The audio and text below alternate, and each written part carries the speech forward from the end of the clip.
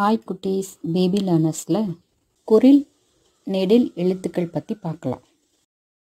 ஒரு எழுத்தை உச்சரிக்கும் பொழுது நமக்கு தேவைப்படும் நேரத்தை பொறுத்து தான் நம்ம எழுத்துக்களை இரண்டு வகையாக பிரிக்கிறோம். குறில் எழுத்துக்கள் நெடில் எழுத்துக்கள் என இரண்டு வகையாக பிடிக்கிறோம் குறில் எழுத்துக்கள்னால் என்ன?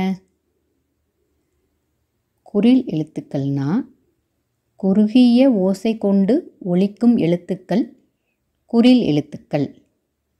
அதாவது நாம் அதை உச்சரிக்கும்போது நமக்கு குறைந்த முயற்சியும் குறைந்த நேரமும் தேவைப்படுகிறது. உதாரணம்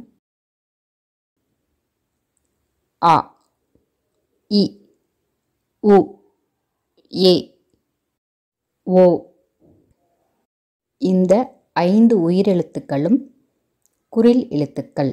நீங்கள் நீங்களே சொல்லி பாருங்க.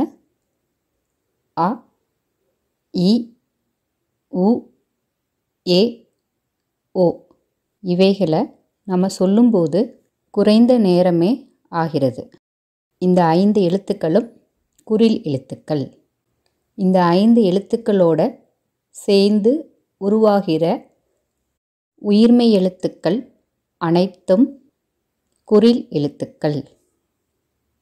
நெடில் எழுத்துக்கள்னா என்ன? நெடில் எழுத்துக்கள்னா நீண்ட ஓசை கொண்டு ஒழிக்கும் எழுத்துக்கள் நெடில் எழுத்துக்கள். அதாவது நெடில் எழுத்துக்களை உச்சரிக்கும் போது நமக்கு நிறைய நேரமும் நிறைய முயற்சியும் தேவைப்படுகிறது. உதாரணம் ஆ ஈ ஊ ஏ ஐ ஓ ஔ.